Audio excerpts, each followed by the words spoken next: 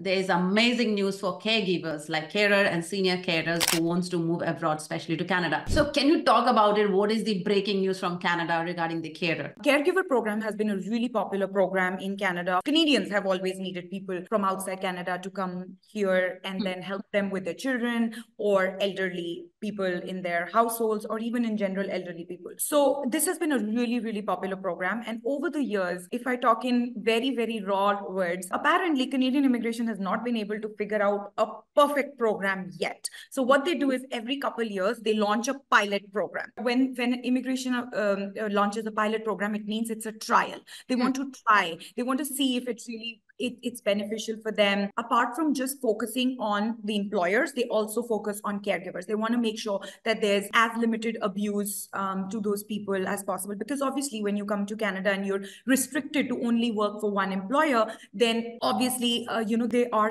um, subject to abuse as well sometimes. So, in order to to reduce that, the government has changed several programs over the years. We have one program currently in place, uh, which was a pilot as well. But obviously, it seems like that was also not the perfect program. So the government has decided to change that as well. They're launching another new program. But the current pilot program is set to expire on June 17th, 2024. There are several significant changes in the new programs. It's a, it's a great, great, great news for those caregivers who've been wanting to come to Canada and, and work as caregivers.